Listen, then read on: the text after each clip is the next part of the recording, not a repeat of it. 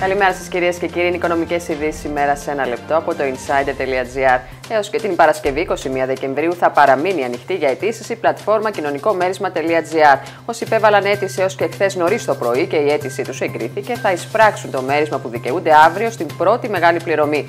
Οι αιτήσεις πάλι που υποβλήθηκαν χθες ή θα υποβληθούν έως και την Παρασκευή 21 Δεκεμβρίου θα πληρωθούν στις 28 Δεκεμβρίου. Αυξάνονται οι μεταβιβάσεις ακινήτων καθώς πολλοί σπέβδουν να προλάβουν την ενεργοποίηση των νέων τιμών ζωνών επί των οποίων καθορίζονται οι αντικειμενικές τιμές ακινήτων από την 1η Ιανουαρίου του 2019.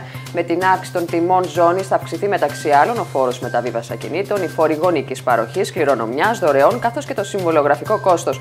Το φαινόμενο είναι πιο έντονο στις ακριβές περιοχές του κέντρου της Αθήνας, όπως το Κολονάκι, καθώς και στις τουριστικές περιοχές της χώρας και ειδικά σε Μύκονο, Χανιά και Πάρο. Σημαντική αύξηση κατά τον τελευταίο μήνα σημείωσε το ποσοστό των καταναλωτών που στρέφονται στην ηλεκτρονική πληρωμή των λογαριασμών τους στη ΔΕΗ.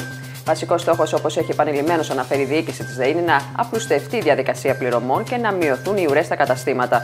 Προς αυτή την κατεύθυνση, εκτός από τις online υπηρεσίες, τις οποίες επιχειρεί η εταιρεία να στρέψει τους καταναλωτές, αναμένεται μέσα στο επόμενο διάστημα να ανοίξουν και νέα καταστήματα σε Αθήνα, Θεσσαλονίκη και Πάτρα.